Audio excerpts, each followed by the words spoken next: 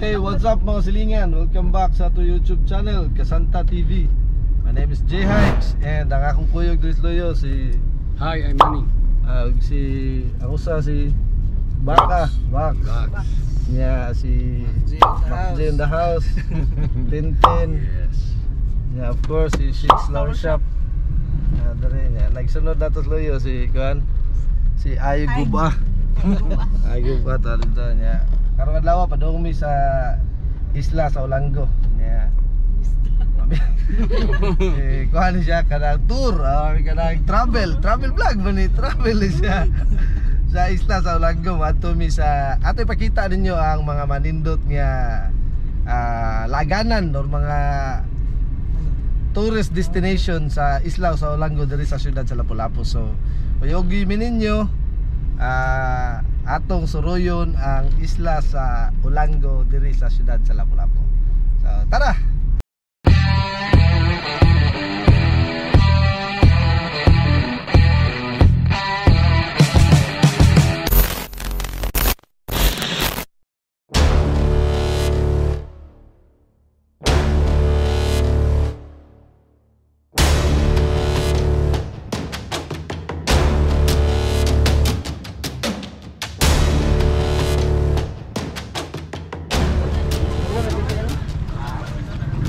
Yang mana financier guys? Oh. Ilan ang mok? 2, 4, 6, 8 Pila? Pila din na. Tapos ako lang mo. Oh, saan? Pila, pila walo? Pila walo ma'am? 320. Senior tanan? Senior tanan? Oh, isa rin, ah, dua rin senior Nasa rin si Beranan mo. Oh, gitsa tayo na ako. Kahupa Ah, o padabas ano ako. is 280. 20. Oh, 320 rin.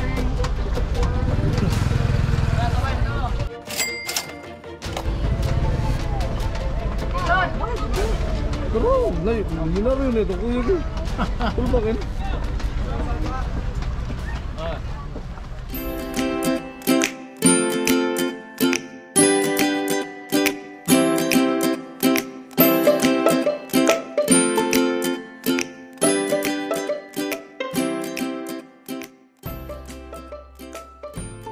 Pagkatapos namin kumuha ng ticket sa ticket booth, sumakay kami agad ng ferry papuntang Olango Island. May dalawang kumpanya na nag-o-offer ng transportation service from Mangasil Wharf dito sa mainland ng Lapu-Lapu hanggang sa isla ng Olango. Isa dito ay ang Trans Olango at ang isa naman ay ang Santa Rosa Ferry Express na aming sinasakyan papunta ng isla. In a 40 peso fare per passenger, we spent 320 pesos para sa walong pasahero para sa aming grupo.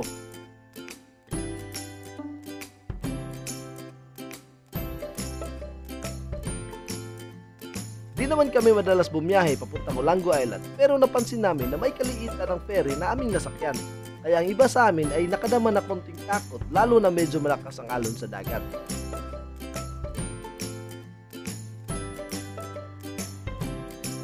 Pila ka minutes guys? Depende. Ah. Depende sa dagan na 15. 15 minutes? Mm. The crew said that it only takes 15 to 20 minutes ang biyahe from Russell Wharf to the island of Olango. Depende sa alon ng dagat kasi kung medyo malakas ang alon, hihinaan nila pagtakbo para sa safety ng mga pasahero. Nung pakyat na kami sa ferry, napansin namin na nagkaroon ng traffic sa may entrance ng ferry at nag-overload na yata sa pasahero. At wala nang maupuan sa loob ng ferry ang mga pasahero, kaya yung iba umakyat doon sa top load para makapwesto habang nagbabiyahe. Then, when everyone is settled, nagbiyahe na kami papuntang Olango Island.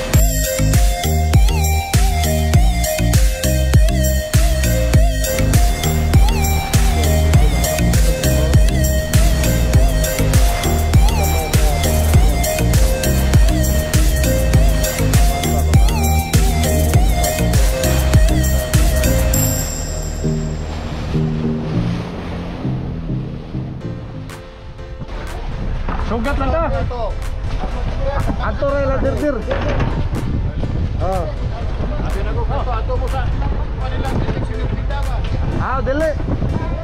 At exactly 16 minutes ng maalon na biyahe ay narating na rin namin ang isla ng Olango. Napakagaan ng pakiramdam nung pababa na kami ng ferry kasi isang dosen ng kaba yung nararamdaman namin habang nagbabiyahe dahil sa napakalakas na alon. Well, I know di naman kami parehos ng nararamdaman ng mga local sa isla.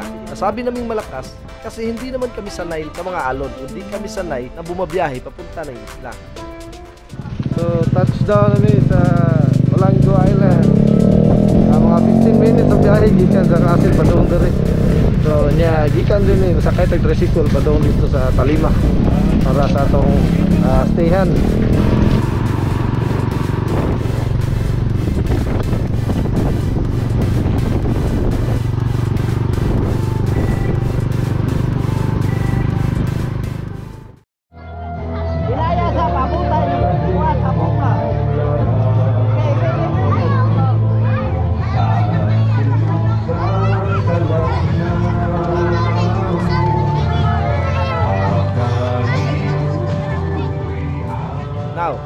Is the funny part. Nung narating na namin ang sityo ng Candagsaw sa barangay ng Talima, kung saan kami magsistay for this two-day, one-night trip, ay naabutan namin ang prosesyon ng mga santo para sa fiesta at ang mga contestants ng Matroon Queen para sa coronation night na gaganapin mamayang gabi. So imbis na ang original plan ay lilibutin muna namin ang mga tourist spots dito sa isla para sa day 1 ay we decided na tutulong na lang sa paghahanda na pagkain para kakainin namin ngayong gabi pupunta na lang kami sa coronation ng Matroon Queen. Balita namin, napakasaya daw ng selebrasyon nila dito sa isla. May mga kainan, sayawan, inuman, at ang daming tao na nakikisaya dito. So instead na ipapakita namin sa inyo ang mga tourist spots dito ay we decided na we will show you on how the Olanggohanon celebrate their fiesta. Hapon.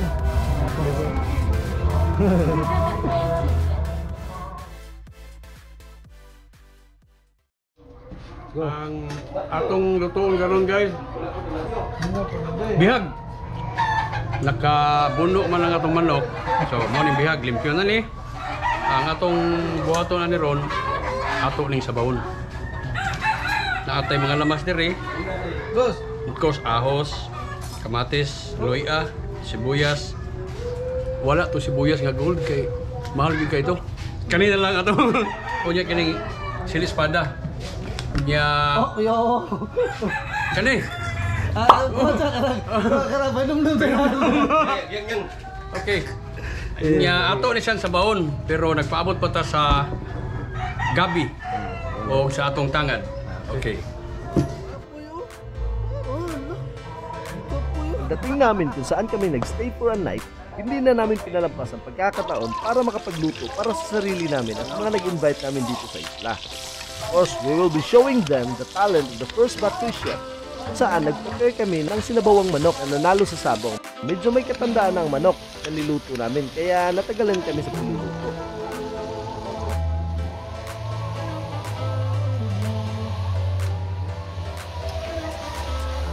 At habang nagluluto ay nagsimula na ang kasiyahan.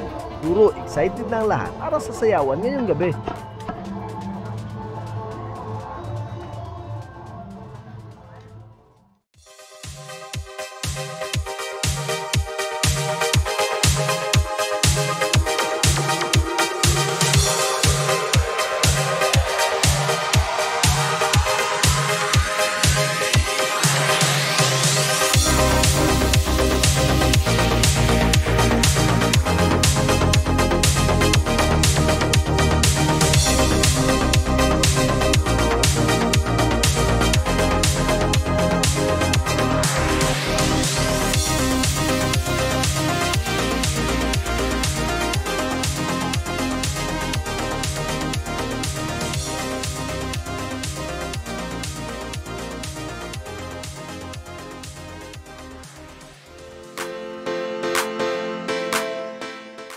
Paalala ko lang po sa lahat, hindi pa po ngayon ang kanilang fiesta celebration. Bukas pa po. Yes po. Kakaiba talaga ang pag-accommodate ng mga Olanggohanon sa kanilang mga bisita. Kahit na di pa araw ng selebrasyon ay talagang marami na ang nagsidatingan ng mga bisita at hindi sila papayag na walang maihain sa mesa kapag nandyan na ang kanilang mga bisita. Basically, it is a two-day celebration para sa kanila. Ang isla ng Ulango ay kabilang sa syudad ng Lapu-Lapu sa probinsya ng Cebu. Ito ay binubuo ng apat na isla, ang main island ng Ulango at ang mga maliliit na isla sa Kauhagan, Panganan at ng Kaubyan. Bagamat bahagi ito ng syudad ng Lapu-Lapu, ay kapansin-pansin na may pagkakaiba talaga ang kanilang pagtanggap sa kanilang mga bisita. Iba talaga ang init ng kanilang pagtanggap at para bang napakasaya nila na makita kang nag-i-enjoy ka sa pagpunta mo sa kanilang piyesta.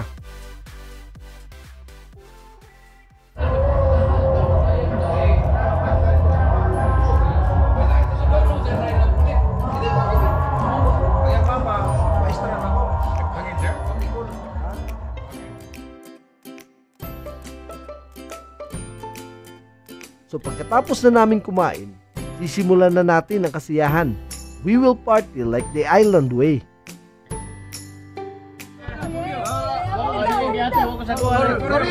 Kuryoso! come on here! Pisa, one, two, sabi mo na lang.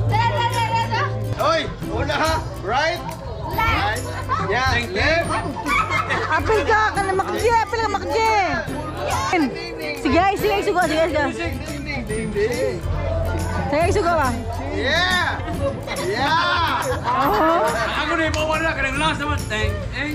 Orang gina ko na yung mawala. Orang gina ko na yung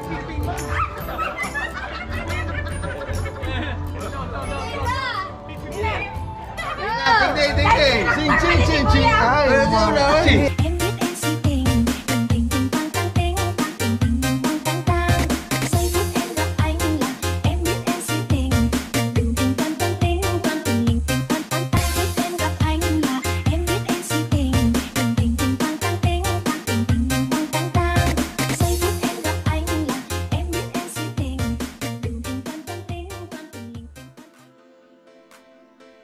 Pagkatapos ng konting inuman ay nagpunta na kami sa coronation night sa magiging Queen of Candagsaw.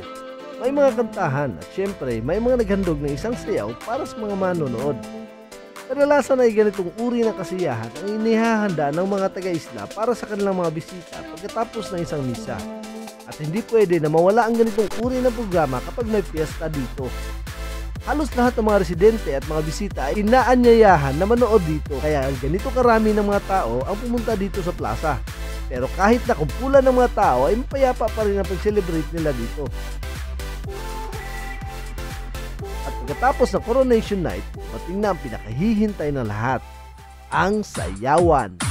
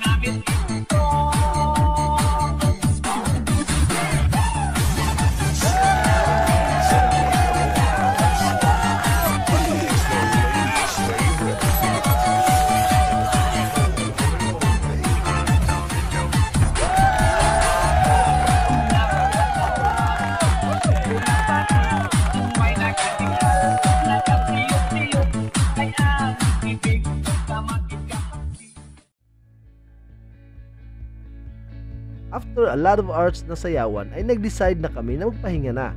para may lakas pa para bukas.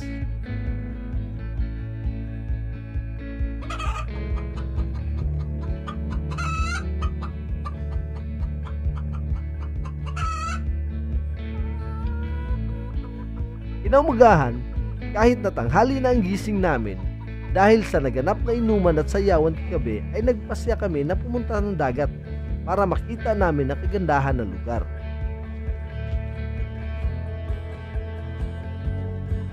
Ang syudad ng Lapu-Lapu dito sa Cebu ay kilala sa mga magagandang resorts and beaches.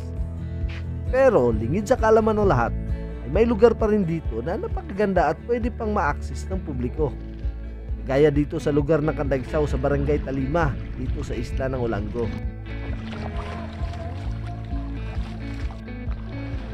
Ang napakagandang tanawin na ito ay biyaya ng Diyos. It is so fulfilling that this beautiful gift from God can give us happiness and peace in our hearts.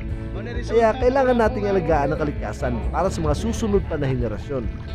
The people of the island remind us of the simplicity of their life, that even how simple it is, you can still enjoy fully and be happy when you are with your friends and family.